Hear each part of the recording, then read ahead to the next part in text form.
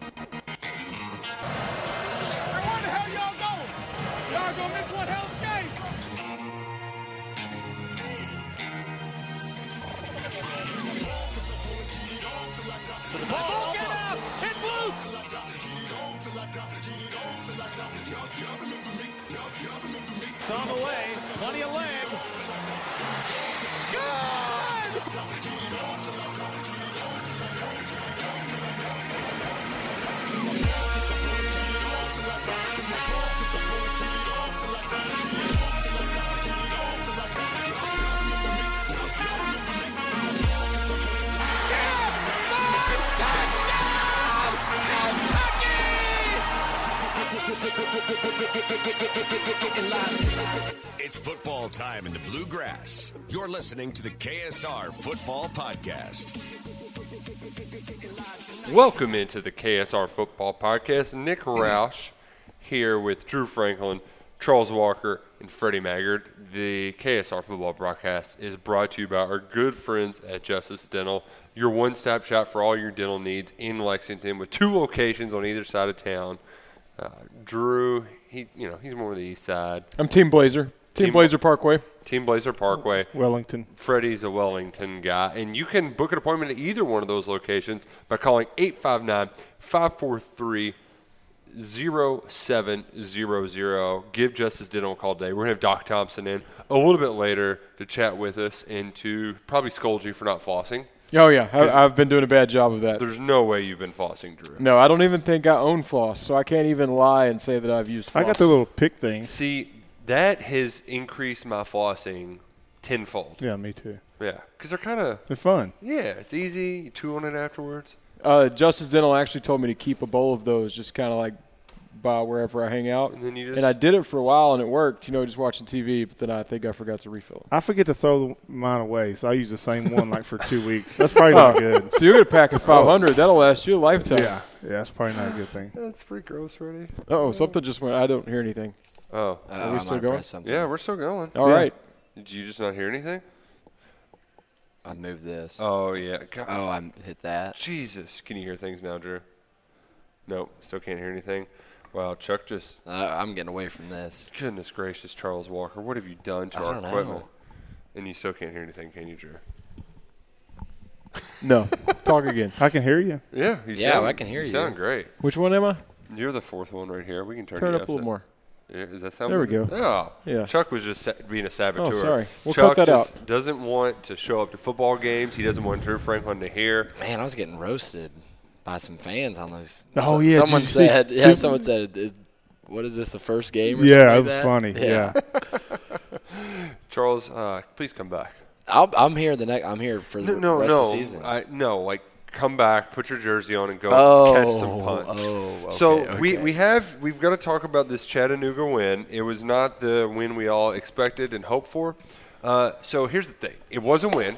It was a win. Three and oh. zero. We're not going to have rounds of applause, but we will get to the good news. There was some good news, but let's start with the bad news. And number one, can we catch some freaking punts? Just I, Well, I mean that, and then kick. A, you score a touchdown, kickoff goes out of bounds. we get the ball what the Get a punt return, get a penalty for holding. So that's back to back special teams penalties. Um, yeah, that that's that's got to get cleaned up. But Nick, I, I look at this game at a macro and a micro level. Macro, the big picture is Kentucky beat a a top twenty FCS team. Uh, not a great FCS team, but a good FCS team that I failed everyone in not researching, studying it, it like I normally do and I apologize for that because I was not prepared for, for Saturday's game. Uh, We forgive you, Freddie. Well, I, I mean, I'm being I'm being completely honest and serious. I, I didn't. I just I overlooked them. I, I was just like everybody else, and you know I could name a couple players, and they nothing that, that UTC did statistically jumped out at me. Very average across the board, but I didn't take into consideration a very veteran team, a top 20 team. Uh, but I looked at the 20 to 10 loss to Austin Peay, and I was like, you know, eh, okay. But you have to pay respect to to Chattanooga. I thought they had a great plan run the uh, play clock down to zero before you snap it, keep Kentucky's offense off off the field, and play games up front. A lot of twists, turns, and all that. But hey, here's here's the deal: everybody else is going twist, turn, and stunt. Yeah. So, to me, the, the micro level is much more troubling than the macro. I saw a lot of one-on-one matchups won by Chattanooga, whether in whether in pass rush, whether in pass coverage, uh, pass blocking uh, tackling, one on one, the micro stuff that, that, that can be fixed, but it needs to be fixed. And then, you know, and then the turnovers. Kentucky's now minus six on the season, facing a team in South Carolina that, is, that has intercepted six passes. Uh, yeah, the, the turnovers and, and the micro one on one losses that I saw were, were, were, very disturbing. the the turnovers that was a like that's all we talked was like Drew can we can we just please just don't give the other team the ball now Kentucky's defense finally they, they caused one when they needed one they Yeah. got the 95 yard pick six that was some good news from Saturday but Drew that one one interception Will Levis threw it was about as bad of a decision it was it was like he didn't even see the guy out there Yeah, and I think we're seeing while there was some criticisms with his accuracy and even the way he goes through his progressions.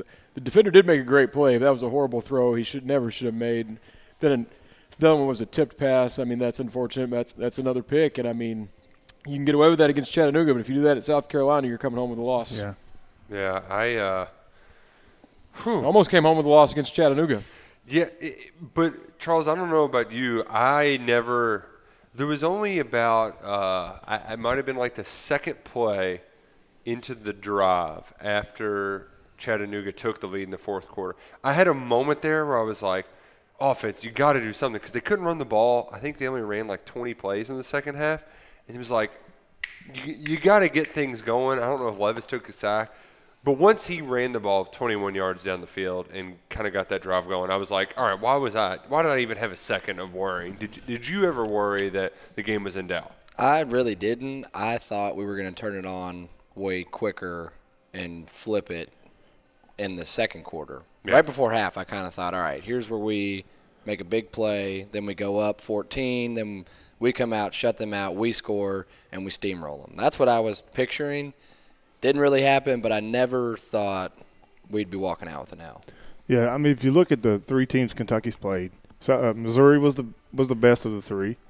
Then I would go Chattanooga. I, thought I think Chattanooga would beat up on ULM. Yeah, ULM very So- bad. so, yeah, I mean- really disappointed that they beat Jackson State because that what- un- yeah. under one wins on the season was looking right Yeah. right there. But- they were but- losing until the fourth quarter. But but this is a game Kentucky would have lost before, so uh, the talent did come in, into play. Uh, I thought the first offensive drive was a thing of beauty. Oh, that was a great drive. But Kentucky got out of rhythm, out of balance. The plan, Coen admitted, was not good. Uh, you know, it, personnel-wise, you, you try to take some hits off Chris Rodriguez. Everything was just discombobulated from the very. Even though the first drive was successful, you know, you were seeing Magwood in there early. A lot of Chauncey got a procedure Magwood. penalty. You know, a lot of players rotating rotating in and out before the game was out of hand. It's it's it's much more difficult, Charles. You can you can attest if or, or, or disagree to turn it on after you're not at your best. I mean, Absolutely. it's very hard to go uh, from, you know, I take a, a, a you know, from from not playing well to turn it up to play well. I mean, you have to come out of the gate ready to play, and, and Kentucky wasn't, but he got the win, and, and we're moving on to South Carolina. of all the little problems, Chuck, are there any that you think are big problems in the long run? turnover battle. I mean, we just can't. I think Adam Luckett had a tweet. Shout out to you that we're minus six in the turnover column, and we're Ten- three and zero. Ten fumbles in the first ten quarters. I mean, That's pretty bad. They weren't lost, but ten times the ball got put on the turf. So you do that at Williams-Brice Stadium with the packed crowd. You're losing. and You're losing, and you're you're getting you're getting creamed. I Not have- only just losing, you're getting creamed. I have two numbers that stick out at me. Other than and we've all established that the turnover margin is is is is bad. It's a trend now. It's just not a two game thing mm-hmm. happening. It's a trend. Mm-hmm. Two numbers defensively that, that jump out at me. Allowing 45% on third down. Yeah. I mean that's that's 13th in the SEC. That's not good. That's not Kentucky. And then maybe one that's even more concerning. The sack rate. 105th in the nation in red zone defense. Ooh. Opponents are 10 out of 10, 7 out of 10 for touchdowns against Kentucky this season. So the offenses are extending drives with 45% on third down, moving the football into the red zone, and then scoring touchdowns on 7 out of 10 tries. Because Ken- That's concerning. Because they can't get off the field on third down. That's concerning. And I think some of it's going back to the pass rush. Now, Mark Stoops is like, well, they're throwing the ball, getting rid of it quick. You still got to find a way to make plays. Nine quarterback hurries, zero sacks. Yeah. One sack in two weeks. Yeah. Offensively, 9.9 yards uh, uh, per pass attempt is first in the uh, SEC. I think that's good. Um, but 128th in the nation, and I hate to keep going back here. 128 out of 128 teams in turnover margin. So can't have that Saturday in Columbia. Does run defense worry you at all, Freddie? Yes, absolutely it does. you know, Ford, Ailym Ford rushes for 128 yards and averages 6.1 yards per carry. Uh, Just think of what Kevin. Uh, and we're getting ready. Kentucky's getting ready to face Kevin Harris, who went for over 200 last year. Harris has only played in two out of three games, Yeah, and he's only rushed for 54 yards on 23 carry, averaging two and a half, 2.4 yards per carry. Man, He's are those ready for a he's ready for a big game. Somebody did their homework. Yeah, uh, he he has had that back injury though. He didn't really practice in the preseason, so uh, and, and they've been playing that kid that was a five star that missed all last year. Yeah, Um, but, yeah, uh, the run de- like the, the the play that started the game off where they let a six yard run. You see the blitz coming on third down and it misses. Yeah. And and I think that's Kentucky's biggest problem this year. It defensively is whenever Brad White calls shots, they're not landing. They've Well- landed they landed two against Mizzou, but hasn't really popped. the 48 yard run by Ford in the, early in the game, DeAndre Square and uh, jo- uh, Jacquez Jones both went to the same gap. Actually, Square ran into the back of Jones. Ford just says, "Hey, there's nobody in this gap," and he's off to the races. So those are things you can correct, and those are things you don't expect from senior players. I also think in this game, Kentucky played hero ball Yep. meaning every player thought this was a stat building game. Mm-hmm. Every play was going to be on SportsCenter and did way way too much and got out of their assignment. Lost lost a micro battle and one on one matchups, but just try to play hero ball. Mm-hmm. I, I I think a lot of them were just playing to get to South Carolina. And mm-hmm. as a coaching staff, that's something that you kind of go over during the week and say, hey, worry about South Carolina next week. And I mean, Liam Coen kind of admitted it. He wasn't really game planning for Chattanooga. Yeah. Um, and when the coaching staff is thinking like that, can't necessarily be upset with the players if they come out and do it too. I'll- Is I'll- there something to at least it was in that game and not in Starkville Oh. or this coming week? Because you still have the win. I mean, there's one of these every year, sometimes more. Absolutely. Maybe, heck, they learned the hard way and, and still managed to escape with a win. I think it's a great point, Drew, and that's why I've been slow rolling this Kentucky team. Uh, I, I didn't overreact after ULM, and I'm not overreacting after a close win over Chattanooga. Somewhere in the between there is what Kentucky is, and, and what it's been to this point is a is a is a team that turns the ball over. You know, eight penalties Saturday. Uh, you- you, you got to clean things up. I, uh, I I like to spin Drew because I'm of the belief that I'm going to walk into Kroger Field at least once in a season, and I'm just going to see a team that's not ready to play. It and like, it, yeah, it, it's in. I, I had one friend like, look at them, they're joking around on the sidelines. They don't take this seriously. Alabama doesn't do that, and it's like, well, Alabama's bad games are still, you know. uh, What was the game against Western? They're up 40, and Saban was tearing into Kiffin. You know, like every team has these. It's just they look a little bit different at different places. And uh, I can think of Mar- Mark Story brought up two of them. That uh, Chuck, I think you remember that game against Eastern Kentucky. Do you know what happened the following week? Went down to South? Carolina and won.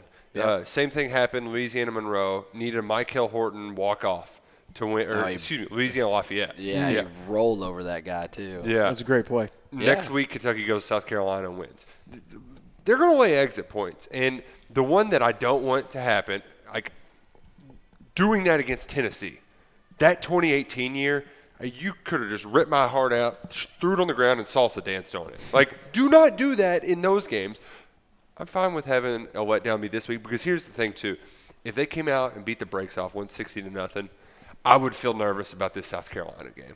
I actually think that this South Carolina game, for whatever reason, people are gonna they're, they're gonna get some people picking against them, and they're gonna be sharing that around the locker room. Like they don't think we can beat South Carolina.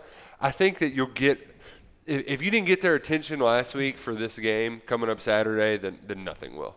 I think some attention will be gotten with uh, Mark Stoops going over the film. Uh, there's no way they won't be ready for South Carolina now. I think about one play in particular that has me really down on the cornerbacks was Carrington Valentine trying to jump on the ball that led to a touchdown. I feel like uh, when they go watch that on the tape, Stoops might raise his voice a little bit. Yeah. Was that their Jump, second? jump on the ball that went. It was the slip screen to the backside on the He touchdown. just completely whiffed Yeah. and led to a touchdown when it didn't even need to be. He, a he read it well, and then missed the tackle. The same same Yeah. on the uh, 48 yard run. Two linebackers, two senior linebackers went to the same hole, hit each other. Ford goes up the field. Ty Asian, who was the hero later on, totally whiffs one on one. Again, one on one matchups. Just and was not Valentine was good. close, but it Yeah. didn't happen, and it led to six points. Right. the uh, the one play that I, as soon as I, I saw the flag, I knew what was going to happen, and I felt bad for him. But it's also like, dude, this is Austin Dotson hasn't been given a ton of opportunities this year. I think he struggled uh, picking up the pass pro aspects. I mean, at Belfry, he was a one man wrecking crew rolling downhill. They're asking him to do a little bit more, and he struggled with it. They gave him an opportunity Saturday, and what does he do? 15 yard penalty. Yeah. and it was pretty. I mean, it was it was a penalty. It was Yeah. late. But it's like, and it was a great run too. That was one of Yep. Kentucky's few Yeah. good runs, and that, that's a momentum drive killer. Uh, well, this just popped into my head because that that one probably worth it. The NFL taunting penalty. I knew you were going to oh, bring that up. Man. so bad. It's like you make a good play and you flex, and they're Literally. I mean, literally. And I was watching. I know it happened all over the league, but I was watching the Cowboys game, and they were given a gift on a taunting penalty. I couldn't believe my eye. That was the first one of the day, and then I kind of saw that it was a theme in all the other games. That's the one I was watching live, and heck, it looked like there's about seven or eight of them around all man, Sunday. I.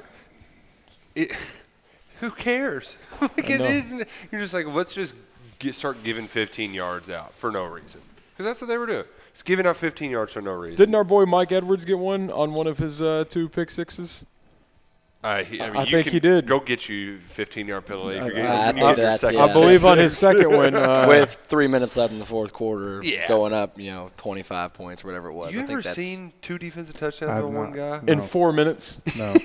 That's, never- that's I've a key never- detail people are crazy. leaving out as it's being Yeah. passed around. Saying, I- it was in it. four minutes. Yeah. The uh, the first one too was was that the one where he was blitzing on in the ball? I mean, like that was the second That was like one. the first one. He yeah. jumped a pass uh, Yeah. and so it to that himself. that one was a good play. The second one really was just like you can't get any better dumb luck.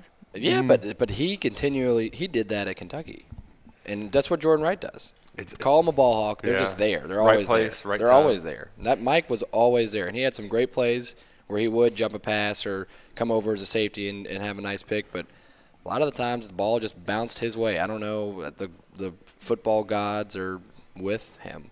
I'm well, Tom Brady him. was bragging on him afterwards for Mm-hmm. that same reason about being a, a ball hawk. He's just and I was thinking, I, I know Mike Edwards grew up a huge Tom Brady fan. I'm sitting there watching Tom Brady talking about how Mike Edwards is such a playmaker. It's got to be cool for him. and he's such a good guy. Oh yeah. I mean, off the field, I mean, he's he's just wonderful. So I'm I'm very. He's happy got the Mike. uniform swag, and honestly, I think the Buccaneers have some of the best jerseys in the league. I I'm mean, glad they're they just went back to the, the OGs too. I like they those. needed Oh, yeah. that. The red, those those are red and pewter. I think Is that what we call They, it? they call it pewter because I remember uh, there's like the SB Nation site they have is like pewter pirates or something like that. Um, I don't know why I know that, but uh, I'm And- guilty of being a Bucs fan during the Alstott years. I was bandwagon. Call me bandwagon. I, I adopted them during that little Super Bowl you're run. good they, hands with Alstott. they were they were a lot of fun. Warrick Dunn. Oh yeah. Uh, Sapp. I, who was the Oh, guy yeah, that had the, Sapp. the picks? Uh, When, when they three- first got those uniforms, There was too. dude with three picks in that Super Bowl, and I can't think of his name. He was named MVP. They beat the snot out of the Ravens that year. Yeah, I'm with you. I don't have it though. And the thing, watching Edwards do that, it made me really miss Vito Tisdale because this Kentucky needs some some Vito Tisdale, just like reckless abandonment playmaking. Like you know, might get out of position every once in a while, but that tip ball, that granted it bounced right into the Chattanooga guy's hands. Devonte Robinson was there. He's when the ball's in the air, you just got to get to it. You just, whatever it is, just go get the ball. And instead, uh, there's it's just a, a half second too late, and it goes into that guy's hands, and it's their longest pass play of the day. That's the kind of stuff. Like man, Vito between that and the blitzing from that corner spot, he'd be raising all kinds of hell. And I'm just, I, I don't want to go over that a ton, but it's just there's some stuff out there where you're like, man, can really use those guys right Yeah. now. Andrew and the cornerback depth, yeah, Phillips too. Mm. I mean, JuTahn McClain, they don't need him, but I mean, he's missing out on big opportunities. There's other guys Oh. getting the ball right now. Like, Oh, yeah. Uh, Donut was out there quite a bit, running motion stuff out, uh, you know, in different formations and stuff like that. And that was set to be McClain's role. So uh, Donut's been, been the benefactor instead. He needs to make the most of it. Um, do we have any more bad news? Because I think we do need to get to some of the good news. Um, Of which there was plenty. yeah, there was. I mean, we, we had to sweat it out more than we thought we would, right. but there was still lots of good we, things. we couldn't, Yeah, we couldn't have our stories written by the time the, No. the game was over with. I, I Uh, predicted 55-7, just a little bit off. I was 42-3. yeah, yeah. I was a I did hit the Bama Florida game though. Oh, Fresno State. But my best call of the year, I just was mad Oh, I didn't you. money line it. I, yeah. I, I piggybacked that off you. I didn't know nothing about it, but I knew you were confident. all all over that Fresno State game. Good job, Nick. And shout out to let's can we, let's just talk about that Penn State craziness for a second. Oh, yeah. Oh man. Bo Nix. Ugh. I mean, not like ugh, that bad, but like he had chances and just fourth and one fade from the goal line. What are you doing? I, that play, uh, I mean, there's no worse play in football for me. I don't care if you're Aaron Rodgers, throw, Tom Brady throwing it. I hate that play. Worst play, the goal line fade or the quarterback draw. Ooh. um, I, quarterback real- I really hate the goal line I fade. think quarterback. Ooh, what what works more though? Because I feel like once in a blue moon you get a quarterback draw to work, and then like if you've got Seth Williams, you know, Yeah. you know, Oh, like you, man. You if you have some guys out there, it can the goal line fade can work.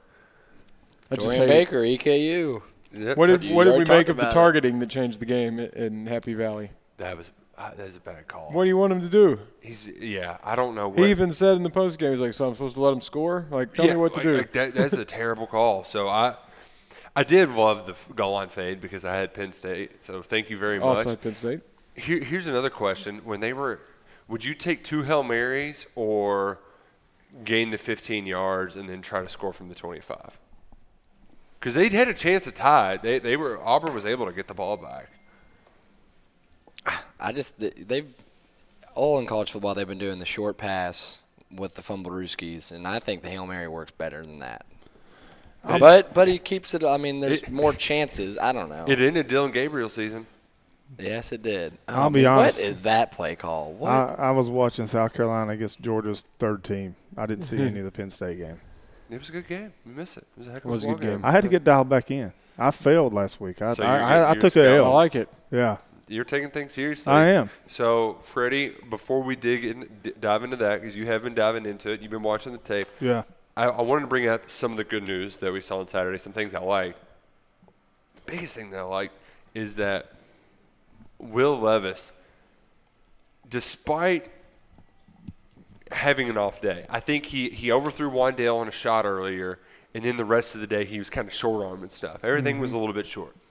But man, he has a really good sense of what's happening around him. I, I think he might have taken one sack, maybe. One sack.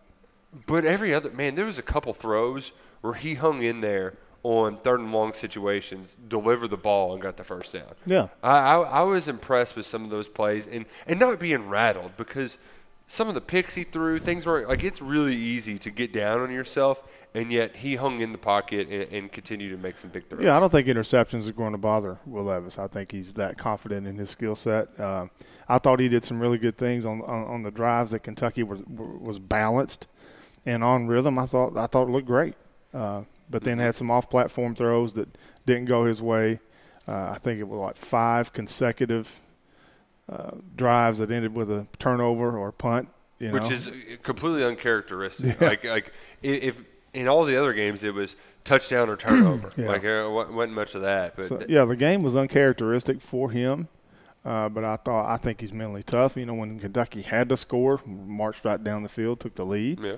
Uh, so yeah, I, I thought he did some really good things. Uh, I like the play made with his feet, about a 20 Yeah. yarder. hmm That was a big run. Yeah, got things going.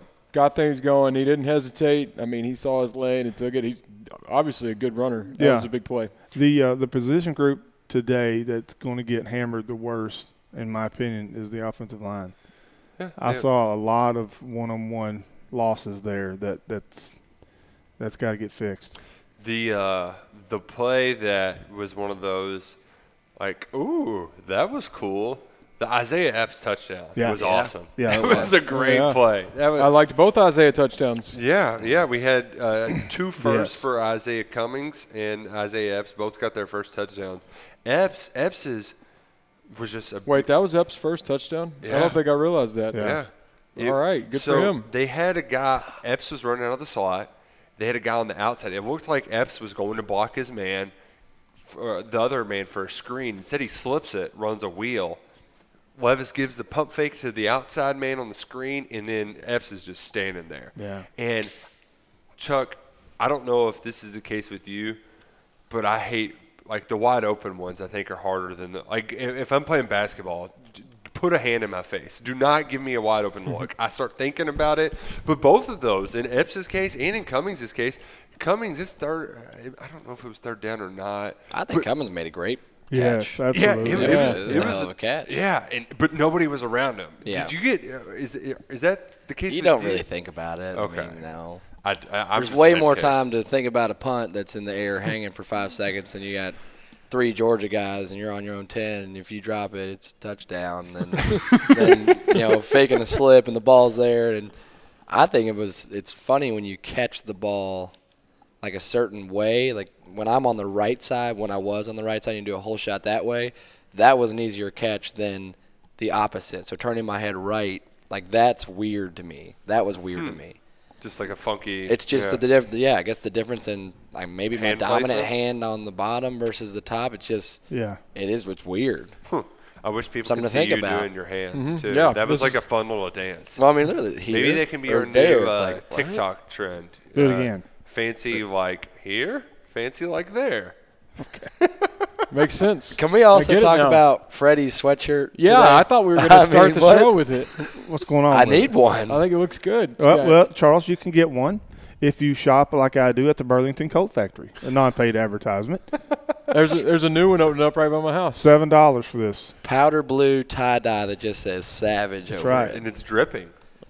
It's the savage It is is dripping. That's how savage you You've are. got some drip. I do. right now. I'm pretty cool, aren't I? I mean, that, And he's Yeah. he's repping the uh, Sunday Night Football runner-up on yeah. his hat too. Yeah. you Kansas are. City Yeah. Chiefs. Devin Key, Devin Key. practice squad. Is he? Yeah. Good. Izayah Cummings, that was a great play call. So was the touchdown to Isaiah Epps. Um, beautiful concepts by Coen. I- I think the development of Izayah Cummings is so big. I mean, that, that just gives you another dynamic uh, playmaker. On, on top of Wan'Dale and Josh, you get a you get a tight end that can get out, and get vertical like that. That that's a positive. and the confidence in that. I mean, Yeah. you know, first one, he's a freshman, like a redshirt freshman. I mean, that's that'll he's gonna be a good player. Uh, Wan'Dale Robinson, he's got three 100 yard receiving games. It's pretty good. When's the last I don't know that he's going to slow down either. Well, I think I, I mean Yeah, we kind of already talked about it. We were playing Get to USC. I think they were saying, "Hey, let's not really use him unless we have to, because he's not very big and he likes to take some big hits and then deliver some." So it was kind of like, "Hey, maybe you sit out this third down." But you can't really do that when you're down in the fourth quarter. I I think they'll get creative with him this weekend. What's your uh, Corey Price stat about 300 yard receiving games? I know there's one out there. There's got to be one out there. And I, I'm going to go with uh, La'Rod King as my guess. I would have guessed. Uh, In a row? yeah, Yeah. Randall Cobb. Definitely wasn't anytime soon. No. I guess Garrett didn't do that. He would be Juice. my guess if it was a recent one, but I don't Yeah. remember one. Um, I'm trying to let's. We're scrolling through the the Corey Price stats. Um, hmm. Here we go. Derek Abney. Wow. Oh. 2001. Ooh. wow. I didn't think he'd go that far back. That's crazy. He's awesome, isn't he, Corey? 20 years? He really is. How does he do that? I don't know. I, I have no idea. Um, I know how he does the newspaper stuff. I don't know how he gets these obscure stats like that. Most receiving yards by a UK player in a single three-game span since Keenan Burton had 359 in 2006. 337 yards during this three-game span. He's the first ever to have three straight to start his season, and first since Ab- I can't believe it since Abney. Yeah, that is that is crazy. Uh, do you Izayah Cummings touchdown? Do you know who the last male product to score a touchdown was? Terry Samuels. There you go. Ding ding ding. I knew he's your guy. So He I'll was give my you that. guy. Yeah, yeah. Terry fullback, Samuels. fullback, right? Yeah. Yeah. I always say three best fullbacks ever to play Kentucky: Andy Murray, Terry Samuels, and And the taco meat. Connor Connor. Montel Allen. Remember remember taco meat? Oh, I love taco meat. Yeah, that was. He got, got in trouble for ripping a parking meter. off. Yeah. Oh, my. well, that parking meter shouldn't have been talking trash. That's what I say about that oh, parking meter. I forgot about that. That's that. hilarious. Oh, taco. Oh, Will. Tom. Will Tom's a great name too. Oh yeah, really. is. Yeah, it is. Just two name. Like we need to get It's a parking meter. We need to get the the two name thing back too. We do. So I'll work on another kid, and we'll call Okay. him uh, Dan Bill. All right. Here we go. That'll be that'll be the next one we get. Yeah, so if you're from the 606, you're always called by two names, by people that's kin to you or know Yeah. you're good. Freddie Wayne. I'm Freddie Wayne. What are you? Oh, uh, What's your name? Nicholas Loring. That's too much of a mouthful. you're- you're Yeah, out. yeah. Andrew Michael. That's just usually when I'm in trouble, but yeah. That's a good one. I'm Oh, just man. Chuck. Dude, I can. Andrew Michael is urine. Oh, oh, when man. I hear that one, it's it's, It's run. bad. It's run. run far. Oh man. When you have biblical names that go back to back and they're screamed by your parents, Yeah. you're in trouble. Yeah. I, my great aunts were all Mary something, you know. It's a big Catholic thing. You're Yeah. like a Mary, Mary Jane, Mary Lou. Yeah, you had to have uh, Mary, Mary in there. That's the only way you're going to turn out to be a good person. So, There's just not enough Will Toms though. No. yeah, need a lot more Will Thomas. I can, I know. I mean, obviously, I know where he's from, but if I didn't know, I could still tell you with the name Will Tom. That's that's mountains. It's Eastern He's Kentucky. Breathitt County. Yep. oh, home of Justin Haddix. Yep. Yeah. K- eh, do we know who's KSR game of the week this week? Kroger Yes, KSR that would be your Pikeville Panthers visiting Oh, your Lexington Christian Academy Eagles. man. Uh, I know this is mostly a Kentucky football podcast, but we have to mention A, how crazy that Beechwood crowd was Oh, at Friday gosh. night's Kroger KSR game. of the Crazy, week. I mean, crazy. sold out, Yeah. 3,000 people there. Like, that both was both awesome. both student sections were there an hour before the game. Packed. That's UK crazy. doesn't even do that. Packed. That was And then crazy. Barkley gets a coffee from a coffee truck. Did you see that? No. Yeah. The coffee truck at the game. Yeah. Um, Pretty cool. I would have preferred a beer truck. I tell you, I saw Can't have that. I saw one of the craziest crowds I ever saw uh, seen in my life Friday. Uh, Woodford County beat Franklin County, and there was not you couldn't get another person in that stadium. Really? All Shout of out- Woodford shout County out to was the there. Yellow Jackets. Five man. and zero with the number one RPI in five A right now. Really? Now, Yeah. that- is that a practice field I see when I'm driving? Yes, that's okay. pra- yeah. Okay. It, it, it, they don't even use that. They have a practice field over by the stadium. The Gotcha. stadium's over by my house. Gotcha. The school's on the other side of town. Okay. Yeah, The uh, the other big game, Lex Cath, Lexington Christian, who's gonna be playing this week. yeah. They got into it. Um, A little bit of a scandal there. yeah, with a mascot who is. So, hmm? so here's the thing, Chuck. They had a guy who was in the mascot, the- the Lexington Christian mascot. Student or a guy? See, that's the thing. I think the kids from LexCath say they thought he was a student. So they were they did the thing where you push them while they're peeing and you like shake them around, try to get them to pee all over yourself. Hmm. They rushed in the bathroom while he was in there Man. in full eagle costume. oh. Turns out it was a janitor. Oh. People are not happy. Yeah. Oh. Which Well, why is the janitor in the mascot costume though? Can we talk about that? I mean, everybody needs a mascot. Yeah, Who's to say the janitor can't do it? I'm not saying you can't, but isn't that weird? yeah, shouldn't Is it normally a student? I think it's always like that's the whole Yeah, Point. I mean, Maybe he's just really, really good at his job. maybe He he could is. be. Yeah. Um, but like could he just stop peeing though? I don't know. I mean, they if were he- pretty aggressive and like shouting at him. I, I would imagine he was terrified. There's video of it. It was it was out of bounds for sure. Too far. too, Yeah, too I mean, much. either way, it is what the players or the the. no, no, like just Okay. kids. students. Okay. Yeah. Okay. Yeah. But that that rivalry just went up a notch. Oh yeah. the Holy War. So Yeah, people are calling it. Yeah. Um, but Lexington Christian, they've got They're uh, good. Xavier uh, Xavier Brown Xavier and Brown, Mason Moore. who's uh, getting some D1 looks. I know Maryland, Illinois, Virginia. He's committed to Virginia. He did commit to Virginia. Okay, and then Mason Morris. Miami committed. of Ohio. Yeah. Then Neves, the quarterback for uh, LCA, is really good too. That, they, they have a good team. Two A is going to be really good with Beechwood and LCA kind of trending towards that re, uh, ma, uh, Yeah. rematch. They can beat a lot of the big schools. Yeah. I mean, uh, every bit of it. So, uh, big game coming up on Friday. All right, let's talk about the big game Saturday. South Carolina, a place that I gotta say is one of the louder, more impress. Like it, it just. Not only do they do the sandstorm, but but the stadium bounces because they go up and down. They wave their towels. They they bounce. I mean, you can feel the press box shaking when you're there. It gets rowdy. And then Rooster Crows. This is going to be Kentucky's first true road game since 2019.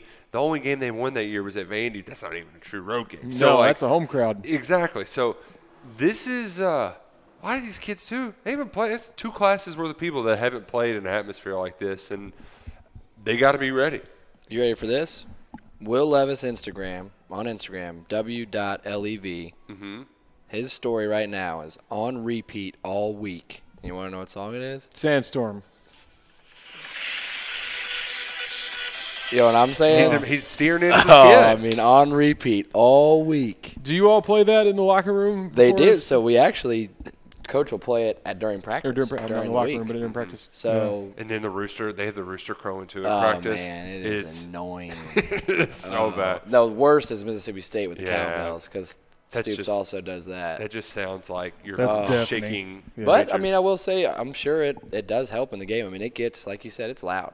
It's the cowbells. I still don't understand how those are even legal, but we'll talk about sandstorm. It's loud. It, that's one of the most cool kickoff or punt returns image I've ever experienced. And you know what? The the thing too that I, I wasn't sure about going into this year with the new coach, just how I mean, you know, really having to escape with a, a win at East Carolina. I just wasn't sure what the buy-in from the team, from the fans would be. But for all intents and purposes, people are big fans of Beamer ball. Um, and you know, as, even though Georgia beat the brakes off of them, um, They didn't quit. yeah, I, I'm I, I- South Carolina is better than than I thought they were after watching them. I tell you what, South Carolina up front, this is going to be a challenge for the Kentucky offensive line, and, it's going to take a tremendous rebound from how they played last week. Uh, Sterling Ellis, Jabari Ellis is a, is a is a havoc creator at tackle, and then Kingsley Enagbare is, is He's good. He plays that role that Josh Allen played at Kentucky as a as a buck linebacker, as they title it. Um, he's very good. He's first team All SEC. He can get after the passer.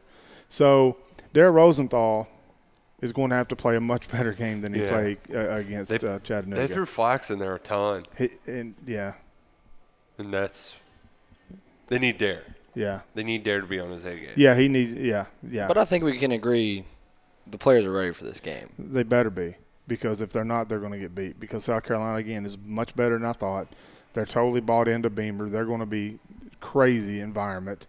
Uh, first SEC game at home. Mm-hmm. Um, you know, it, it the if you look at if you just compare units or groups, defensive line advantage will go to South Carolina. Yeah. Linebackers Uh, you Push the- at best. Yeah. Secondary, push at best, right? Because of the corner situation, the Mhm. lack of depth. Offensively, I think Kentucky gets the advantage at offensive line and at quarterback Yep. and at receiver. But Josh Vann for South Carolina uh, is a vertical shot.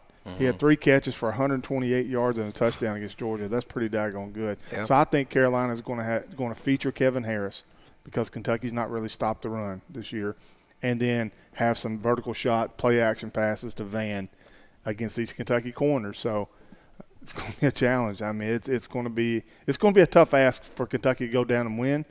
But if if you can't go down and beat South Carolina, that's in year one of rebuild, then the next three are going to be a little bit too much to ask for. The thing that Coen admitted after the game too that I think hampered them is the way that Kentucky did not establish the run early. Yeah. You're going to see that on Saturday, Drew. That I mean, Chris Rodriguez, he wasn't even in. He didn't even smell the first series. Yeah, I think Rodriguez might have shown up to the game thinking he might not be playing much, so everything got thrown off pretty quickly when it was a close game. I, I think they'll be able to run the ball, and yeah, you talk about it could be a bad look if you lose to South Carolina, but if you go down there and put it on them, what is that? Seven out of eight now. Yeah. I mean, I didn't think Kentucky would ever have seven out of eight against an SEC team that's not Vandy. So I mean, you've got two teams in your division you've really got got a hold of, and Oh, you yeah. know, Both play- live in Columbia. Yeah, and you you play uh, Missouri pretty. Well.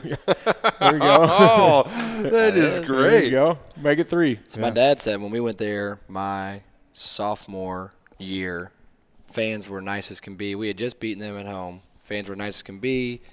Yeah, Kentucky because they thought they were going to steamroll us. 2015, yeah. We win. Denzil Ware. Come back, we the beat score. them again. Come back again my senior year, and he said the exact opposite was of the fans. Now the fans, you know, hated Kentucky because they realized, man, this is a game. Hey, they're nasty down there too.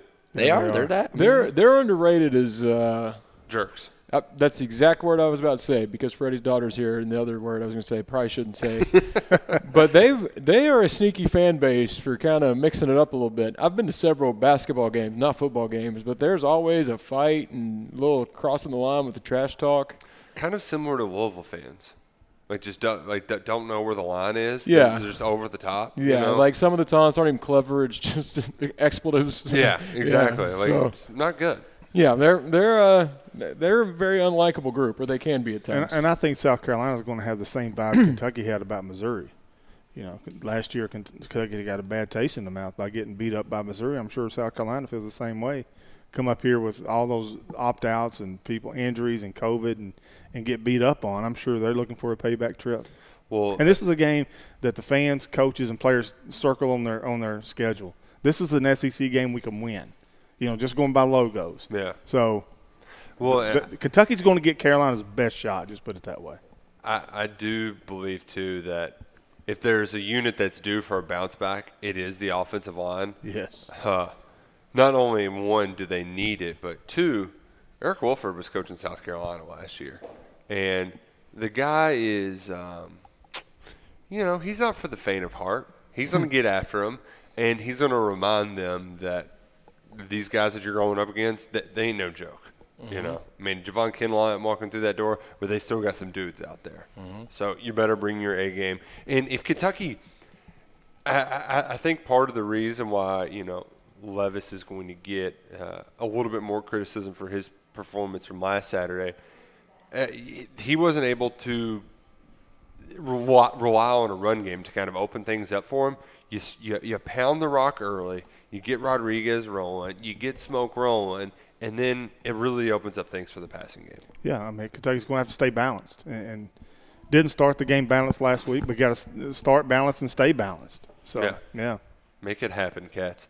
Um, man, I, I actually will not be making the trip this weekend down to Columbia. First time I've been down there in a long time. Uh, but that is a, a great atmosphere, a great place to watch a football game. I really, really despise them though. And this South Carolina team, even though they're better than expected, they're still not good. Like, come on. If Got a banged up quarterback right now. yeah, what, what was it? The the quote they had about Zeb's hand. Bandaged, can't throw. feel like if you got a big bandage on. Look, this- look Doty played wide receiver last year. They, they had Dakereon Joyner playing quarterback. He's now back at wide receiver. You gotta, you gotta beat this team. And then four and zero. I mean, do we bring game day to town? Just not, not- I'm not looking past, but I'm just getting a little excited for the following weekend. gonna night be- game we gonna be a learned today. game. just not SEC game day, please. Oh, well, hold on. Speaking of SEC, let's talk about SEC Network Plus. How did it go? Did you get to? I I, assume you watched the game. You've been I talking did. about it, but we I need to hear about your experience. Did not enjoy it. I finally signed up for ESPN Plus after some coaching, Okay. and I got it hooked up. I couldn't transfer it to my TV. That's a bridge too far. But I had it on my computer, which is like your. I mean, it's little, so that aggravated me. Mm-hmm. Bob Stoops was coaching for Kentucky on three different occasions. Uh, the broadcast crew did did not have a lot them of that? respect for Mark Stoops. What in the world? It, it just, it, I was, I was, I was in a bad mood when I got to the pregame show, and I stayed. In a, this whole week, last week was just, you know, I was unprepared. I had to watch the game on my computer, which was stupid, and you know, during the game, I'm thinking back. I said Chattanooga had a 0.0 chance to win, and was up 16-14 in the fourth quarter. I'm thinking I'm going to be the biggest idiot.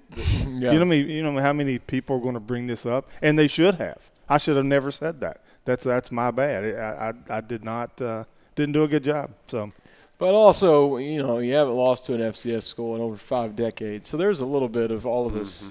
you know. Yeah. I mean, we were definitely wrong, but it's not like we were crazy. I do have some questions here, Freddie. I want to ask you one quickly before we get to Doc Thompson. Uh, F- Freddie, is there like any adjustments in particular that you, you want to see happen from the defense? That comes from our, our, our friend Austin, who's listening to the show. yeah, win one-on-one matchups. Schematically, I don't think there's anything different that Brad White can do. I mean, he's doing everything he can to win football games. Kentucky's one of the best teams in the country as far as not giving up plays of 20 yards plus. So not not allowing the home run. There's some dink and dunk goals involved. Uh, really not stopping the run game as we've seen him before.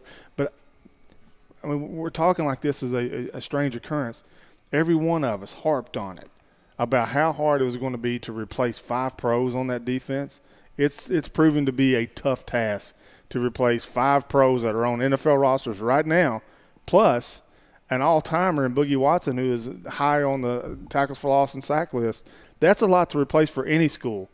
For Kentucky, it's proven to be a challenge, and I don't think we understood just how much that challenge is going to be until we get the product where uh, Ailym Ford rushes for 128 yards uh, against Kentucky. Uh, one Ben had one more question too. Uh, can we make it a rule that Freddie can no longer guarantee wins? Yes. yeah. Matter of fact, just wait till Saturday of what I pick. Oh no, it's ominous. Freddie, don't know. I got to call it like I see it. Yeah, yeah, yeah. Boy, Big, big mind and heart game here Saturday for a lot of people, including me. I'm not gonna say. I'm not gonna say what I'm on. I don't. I don't like where this is going. I, I feel like we were just taking a, a train to negative town there. I, feel I like know, we were, what? we were gonna. Freddie, hop I got off. my tool belt on. and I'm about to drop my hammer, so I don't care. Oh, are you on minus 5 It's Uh-huh. down to five. Down to five. Good. I love it. minus five. I, Love bet, it, I guarantee it. it. drops a three for kickoff. I Good. tell you what I wanted didn't it hit. six. I'm gonna buy it up to six. I was invested in Kentucky over 41 points on Saturday, and I didn't even have to sweat it out because it never stood a chance. No. I did double down at halftime, and uh, oh, got the got the second half over at the last at the last uh, second there. yeah, didn't have to sweat it out though. No, at minus five, I'm with you. I'm bringing out the hammer. I got my hard hat on. Got my tool belts with me. What if I I'm told dropping you Kentucky's only won once as an SEC road favorite? Good. About to be twice. There Yeah. we go. I like it. That's the spirit. Get on the positive train. Get the negative train out of town. This episode is brought to you by FanDuel.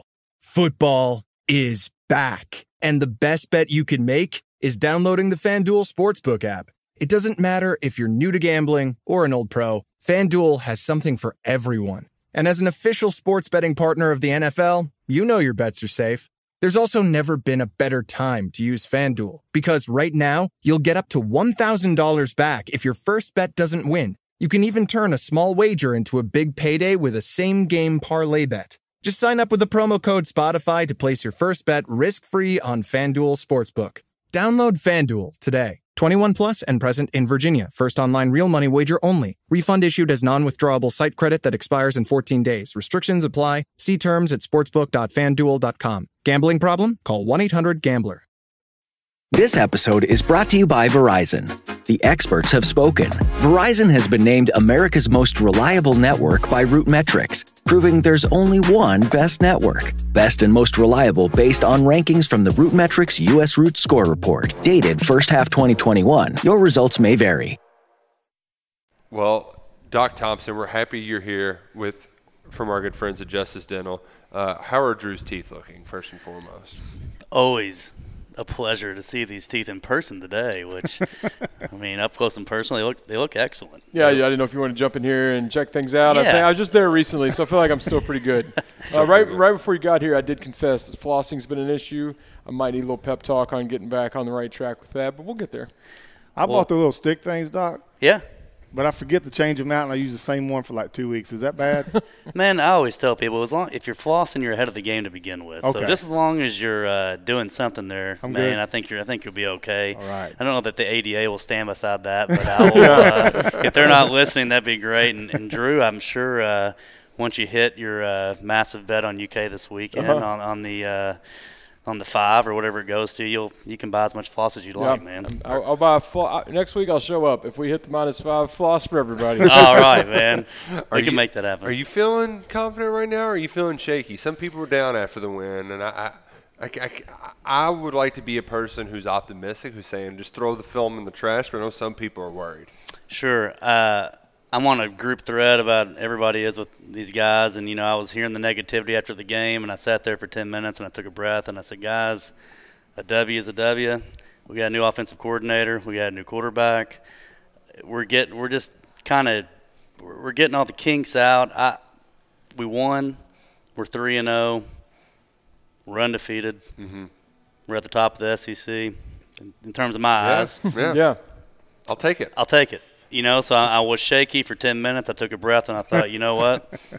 Uh, we're going to be good. And I'm, I'm excited for the weekend and excited to give a prediction here in a few minutes with you guys. I agree. We're, we're new territory where we're a little better than we've ever been, but we're not in let's complain when we're three and zero territory. No. we're yeah, still yeah, yeah. We're, we're still happy with three and zero no matter how it looks when you're Kentucky. Everybody's happy with three. oh. I heard, I tell you what, I heard a lot of, a lot of the guys like, ah, you know, this is Kentucky's being Kentucky.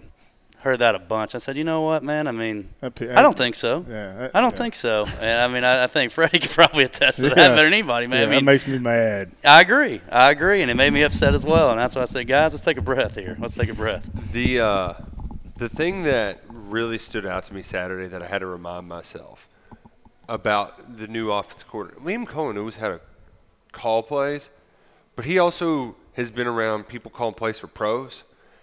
And he said, you know, I got to remind myself that because I call a shot, in the pros it might not always be the case, but in the college, when you tell a guy, "Hey, we're running a shot," they're probably going to throw it. We don't need to throw all of those. So I think there's there's an adjustment period to to getting down to, to coaching a 22 year old versus a 28 year old who's been doing this a while, who might have a little bit more discipline. You know, it, it's it's a learning process. He's still figuring out the right yin and yang, and you know what? I will take that in a win, uh, those struggles in a win over a loss every single time. I liked what Levis said after the game. I mean, I if they would have blown them out, I don't know what. I mean, it was a wake up call for them. You know, I mean, it would have been easy to go down there and and had a big point spread, and then be looking to Florida the next week. And I think they woke up, and I think they're going to be ready for the game Saturday. So we'll we'll take the glass half full mentality, in my opinion. Love it.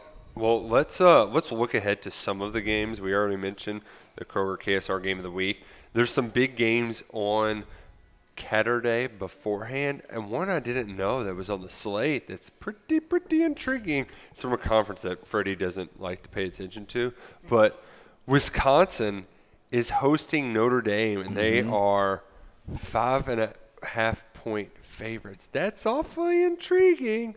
In Chicago, right? Yeah, at Wrigley Field. Oh, it's at Wrigley. Yeah. Interesting. I didn't know this was being played there. So that'll be uh, a cool. It'll be a cool looking game.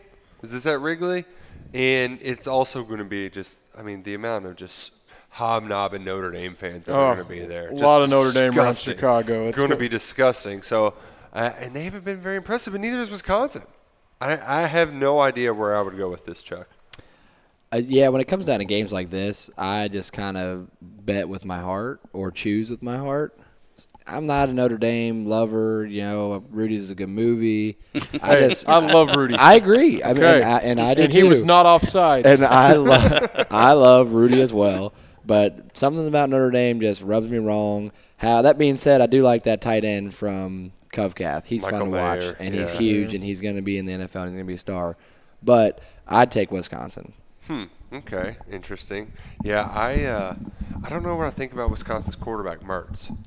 He's he's thro- he throws some bad interceptions.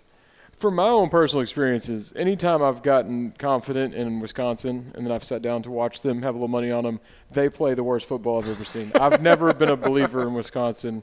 I, by uh, marriage, even though I'm still not married, have kind of will be joining a Notre Dame family, so I've kind of had to adopt Oh. them. So I kind of don't tell them I didn't really like Notre Dame for a long time, and I'm Okay. having to pretend. We won't Okay. They've grown on me. You know, we got Notre Dame stuff in, up in the living room, so I kind of have to root for them. Hmm. I'm sorry about that. It, it is weird. It's a weird feeling. Do you have any uh, hunch one way or the other on this one? Do, Not a huge hunch. I mean, I, I was actually at the dinner with a, a massive Notre Dame fan on Friday, and he was giving me some insights in the game. He has, he's actually going to the game with a, a ton of guys, and um, you know, my my what's what's the line? What'd y'all say? Five and a half? Five? Yeah. Yeah. Five. My, my hunch initially would be Notre Dame. I haven't watched a ton of Wisconsin. I have watched two Notre Dame games and have not been massively impressed, but uh, they're still in the national spotlight. I mean, they're still obviously uh, vying to be in the, the top four here, and I, I think this is their chance to to, to get there potentially. I, I don't know that they'll get there this year. They're undefeated, right? Yeah, Yeah, yeah. so, they, I mean- they've left the back door open against Purdue, though. Was really was really hoping that Purdue would go up and do something there. Uh, they they aren't rolling out really dumb uniforms, Freddie. Thankfully, they usually Yeah. do in this series. Like they're just adding like three stripes. Like it's not anything crazy. Well, I mean, I think the conversation's interesting. Uh, Doc Thompson went to Owensboro Catholic, and Chuck went to St. X. so I was expecting different answers, but yeah. uh, I'll take Wisconsin here. Uh, Notre Dame has not impressed me this year. I mean, Hmm. the first game of the year beat a bad Florida State team, struggled, Oh, struggled against Yeah, Toledo. true. That's a bad And Florida you know, State team. I, I know he's he's kinfolk, but was you know didn't exactly blow, blow the doors off Purdue, and uh, so Yeah. I'll, I'll take Wisconsin in the five. the one, It looks like it's it's five and a half, about to be six. you know which game that I think could end up flipping the script that I'm looking forward to. What's that?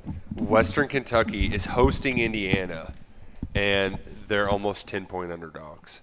And I know that sometimes the, the fans in the western part of the state, you know, they can get a little unnecessarily hostile. Mm-hmm. Like, guys, you're Western. Like, let's all be friends here. You don't have to want to, like, fight UK fans. Let's all get on the same page and beat those good for nothing Hoosiers down. Yeah, I agree with you. And you you have Western connections. My most of my family went to Western. I want us to get along with them. Yeah. And I know they beat Mark Stoops early on, and that was a big win for them. But I don't like this bad blood between UK and Right. Western. I want to root for you all, let's all and I am going to root for you Come all together. to beat Indiana. They're hosting them, too. I bet that's going to be a packed stadium down there. Uh, the hill is going to be out Yeah. of You won't even be able to get up the hill down there. I've spent a lot of time down there. I had a lot of family members go down to the tops, and I'll be rooting for them hard. I mean, that's in my backyard from Owensboro. I know Drew's as well. So, I mean, I've always rooted for Western. I've, I mean, I remember coming up on the on the opposite side of things here with my dad to a UK basketball game, and Western beat us at Rupp. I don't know if y'all remember that game or not. That blew my mind. I wasn't rooting for Western. I didn't want them to win the game, but I left out of the Rupp Arena feeling like, well, at least it was Western. I mean, I, that was just me. I mean, I don't know. Not a lot of other fans probably thought that, but uh, I, I'm I'm all in. WKU, go for it, man. I hope they Uh, put the Hoosiers down. I'll I be mean, that'd singing "Stand Up and Cheer." Tops And on top, TOPS. I'm a hater. Don't like them. they don't play anyone all year, and then they They have some, Army. They have some good teams, and then they covered. always say, "Well, we we do fine in the SEC or we do fine in the ACC." So they're they're wannabe Kentucky and they're wannabe Louisville, whatever you want to call them. I'm not a hate- I'm not a like. I I don't like them. I think I'm making Indiana minus nine. So Oh wow, Indiana stinks. They're overrated. They got the doors beat off them by Cincinnati. Uh, who's good and led by a St. X Tiger? Let's just say that. Maybe Oh. Heisman candidate Desmond Ridder. oh uh, my stud. goodness, Chuck! Just slow your roll down. slow your roll down here. Uh, Tennessee is going to lose by a thousand to Florida. Freddie Emory Jones is he good? Yes, he's good. Yes, he's good. Overreaction didn't play well early. His first year as a full time starter. Everybody was calling for Richards, Richardson, Richardson, Anthony Richardson, Richardson, Anthony yeah. Richardson. That didn't happen. Man, they, Uh, look, they look good in that Florida game. looks As- really as- good to as me. bad as that two point play was, though, that was the worst looking two point conversion. Yeah. I don't. well, That was not a read option. That was a let's both run in the hole at the same time. Yeah, and the then wait to get tackled. The consensus is today that a lot of people are downplaying Alabama instead of praising Florida. I'm praising Florida because I thought they played a great football game. Got down big early, came back, fought back, uh, almost won. Uh, what's the spread?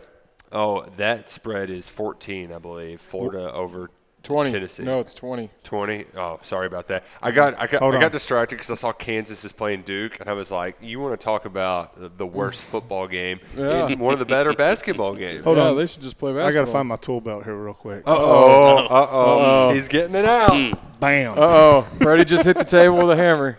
Give me the Gators. Oh, so man. I got to confess something. I had that fans first, fans fest, only fans, fans fest Yes. Saturday night after after the uh, UK game. Only fans. So you know, I'm working with uh, not with Roush, but we have football stuff, and I have Bama, Florida on, loving it, love a good CBS broadcast, and I have to leave, and Alabama's killing them, and I just see the final score, and it, it was a two point game. I didn't see any of the second half or how Florida looked so good, but just uh, seeing them keep it close, I'm a little more worried about a week five. Not looking ahead, but Well, Florida looks looks good. I swear it all started first off. Their kick returner had the fair catch, muffed it. The ball rolls out of bounds at the one yard, half yard line, and he acts like he like acted like he him pointing and being like, "Nah, don't worry about it."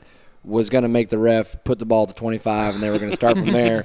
And the referee's just blowing his whistle, looking at the guy like, mm, the, the ball rolled out right here. This is where you're starting the drive. But then Alabama's linebacker could have easily stopped an angle route from a running back who had like 70 yards on that possession. They go down and they score. If he just tackles him there, I think it's a completely different ball game. That wasn't the weirdest special teams play of the game though. Saturday. Did you see what happened, Doc Thompson, in the Memphis and Mississippi State game? Absolutely, yeah. I mean, if you watch SportsCenter, you saw it, so and, and that's on my TV a lot. So yeah, absolutely. I mean, crazy, crazy thing there. The ref actually kind of like blew a, kind of like threw his hands out, and I think that added to it a little bit. I think some of those guys stopped playing, but I mean, kudos to the Memphis guy. I mean, just heads up play, wild, right? Play until they tell you not to.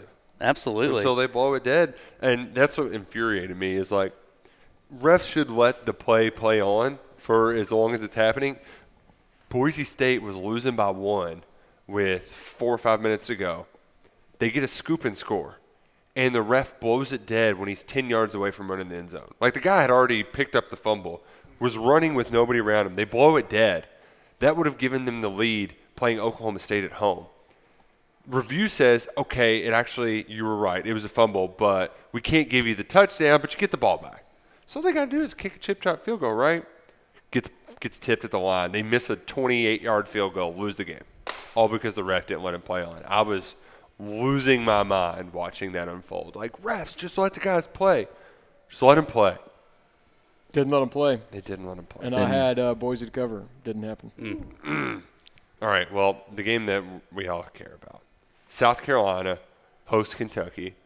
It's been a pretty, pretty nice place for the Cats recently, except for their last trip down there when Sawyer Smith's arm, it was clear as day at that point that something was off. But if you all will recall, Kentucky was in danger of having its only shutout of the Mark Stoops era. They put Lynn Bowden at quarterback with Chris Rodriguez, two guys who, I mean, Lynn had never played the spot. Chris was just another guy at that point. He was just the third running back that wasn't playing a lot, maybe even the fourth. And those two guys lead Kentucky down the field, changes the trajectory of the season. And now Kentucky is back with a new look. South Carolina under Shane Beamer. We got some Beamer ball going. They're going to play sound. They're going to play physical. They're going to play hard. Drew, how are you feeling about this game? I'm pretty confident, but I was also pretty confident this past weekend, so I gotta gotta reel that back a little bit. But I just don't think South Carolina is very good at all. Their quarterback that's been playing, as we all know, was supposed to be a coach, and now he's got a bandage on his arm and isn't practicing. I just uh, I think with Kentucky having a close scare, I know their minds will be right in this game, and I, I think they uh, they win. We get to four and zero, and see what's next from there. Charles, um, I know you're feeling optimistic. I I think of South Carolina. I think of about four things: packed stadium that's loud, and enthusiastic. Think of Steven Johnson sticking his tongue out. Oh yeah, How could what a, we what a moment! I think of the crisp grass. Their grass on the field is immaculate. Oh, man. immaculate. True grass. Not the turf stuff. Not the turf stuff. I'm not a fan of the turf stuff, to be honest. Yeah. Their grass is immaculate. And then I think of Mark Stoops jumping and what uh, body surfing, I guess. That was Missouri. That was not Missouri. That was Missouri. There was a big dance party at South Well, Carolina. I guess though. when I well, yeah, my He, senior he year. didn't crowd surf. He didn't Okay. crowd but surf, he did but he get was- up. And Okay, get- well, then he was that's what I think on the of. chair. I'm pulling out the sledgehammer. I'm going cats. Oh no, uh, no, no, no, no! Sh- Come on. We can't have Freddie's negative energy. Oh, oh. What? Fre- he's he's still got to he's got to watch tape. Fre- oh man, I don't know about this, Chuck. Oh gosh, he's Doc Thompson. How you feeling about this game? I feel pretty good about it. I mean, I I think that um, we got our scare. I think we'll come out. I think Rodriguez has got to be just chomping at the bits to run all over them, and I think the offensive line will step up. They're, the last series they looked really good there, and in the last game I think they they turned it around. I think everybody's worried about the O line for for good reason. I mean, they had first game of the year they didn't run it very well against then against Missouri they crushed it on the ground. And the last game struggled on the ground. So there's any indication they got one week off, they'll be fresh, they'll be ready. Um, you know, I I don't think I think it'll be a close game. I don't think it's it's definitely going to be a blowout down in South Carolina. Um, I'll stick to what I said right after the game to to a few guys. I think it's uh, I think it's ten points for us. I I think I'll go as far as say uh, 31-21. You, you taking a hammer out on that one? I'm gonna just throw a score out there. I feel good about it. Oh, that's a hammer. Um, I I don't know if it, I'm chiseling away. I don't know if I'm hammering away. Uh, He's got but rubber uh, but I, I'll I'll go. I mean, listen, the the guys gave us 30 points last week, so we got some to make up here in Vegas. I think we'll make up a few of them here. So Mm-hmm. I'll go 10 points, and I think we we pull out the W and come back for a night game against Florida, which I'm already salivating about. So if we if Kentucky wins, it's more likely six than seven, right? Or is it more likely seven than six? The time on the Florida game. Oh, s- six is the win okay. because that six is on E ESPN. Yeah, the big that's the good game. Okay. Gotcha. Yes, yes. I Uh, like the six o'clock. We talked about this off the air earlier. Six o'clock. That's that's just right for me. Yeah, yeah. It's it's night, but it's not like the first half. There's just the sun's going to be up for some of it, so you're going to get the cool sunset in the background of the Krog. It's going to look immaculate. And it adds an hour to your your celebration. Yeah, exactly. as opposed The game seven. doesn't end at 11:30. Instead, it's more like 10ish. Oh man, plenty of time to go out and enjoy some cocktails. Yeah, or uh, sit in the press box and drink coffee with you. Yeah, oh, that's awful. That's a great time as well. Freddie, are you feeling? Are, are you feeling positive? Uh, I think South Carolina's strength of the team is the front seven defensively, especially the front four. Very good. Jabari Ellis, uh, Kingsley and Jabari is a very good player. Aaron Sterling, uh, Pickens in there. I think Kentucky's strength offensively and for the team is the defensive line. So I like how that crosses out. Uh, but you mean this the offensive line? offensive line. The game. The reason I'm picking Kentucky to win one, I think they have better better players, better roster. Two, I believe 100% Mark Stoops. I, I don't. I think that he, I think he is over there right now, or, or he's on his talk show right now. But he'll go back and just start wearing people out. and, and I, I, I 100% believe in Mark Stoops, and I think I believe in this football team. But I do agree with you, Doc. I think it could get close at times. It's going to be an uncomfortable three hours. Uh, but but I, I like Kentucky. If I will say this, the team that has the most run yards will win this game. I know that's old cliche, but if Kevin Harris gets, goes crazy for 150 or plus, that could that could be bad news for Kentucky. If if if C. Rod goes for 150 plus, I think Kentucky wins easily. Can't, can't let this be Kevin Harris's breakout game, but No. I, I do expect the Big Blue Ball to bounce back in a very big way. Yeah. they're going to be. But I'm taking. Kentucky. Um, oh, yeah, Yeah. Here we go. There we go. The- hey, folks, the Cats. It, it wasn't the prettiest thing, but it was a good wake up call for them. And Kentucky, they didn't hit as many shots as they did last week, but they will this week. They're going to be physical in the run game, establish that early, and get back to playing Kentucky football. Uh, man, it's been a lot of fun.